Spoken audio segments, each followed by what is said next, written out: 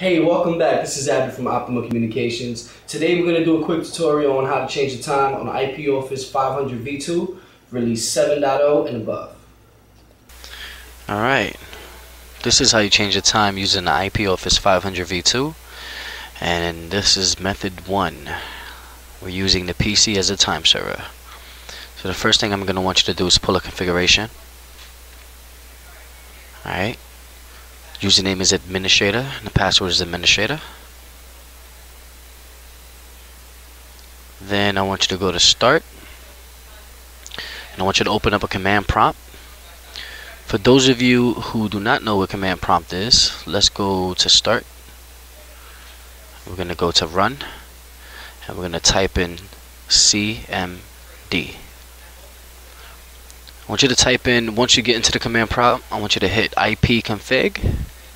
At this point, you're going to realize that uh, you have an IP address. This is very important. Make sure you write this down.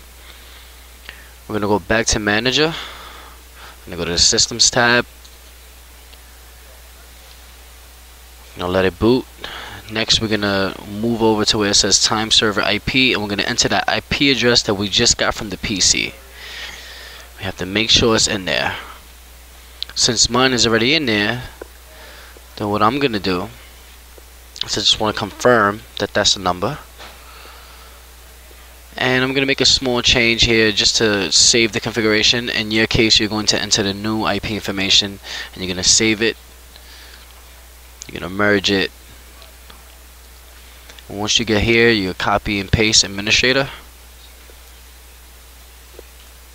and now the uh, time should update on your phone system. Alright guys, that wraps up today's tutorial. Thank you for watching. My name is Abby from Optima Communications. Keep in mind there's many different ways to change the time on the IP office system. So if this method didn't work for you, then leave me a comment in the comment bar. I'll be more than happy to make a new video. If you have any questions, you can give us a call at 1-800-270-9204.